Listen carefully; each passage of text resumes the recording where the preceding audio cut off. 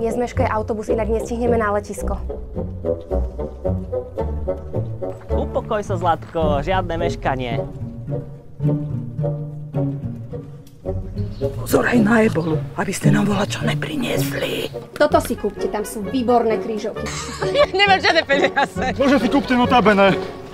Čože zmeškám? Uh, jedenkrát na konečnú, prosím. Okamžite vypadnite, inak zavolám policiu. Ja som si myslela, že ide Marcel. Počkajte.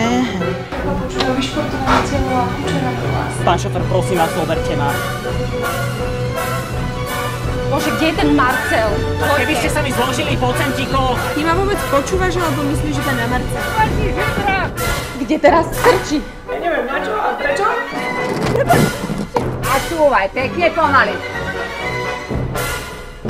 chlap o sebe myslí? A príjmam stavky na to, či sa dnes ešte odtiaľto pohneme. No?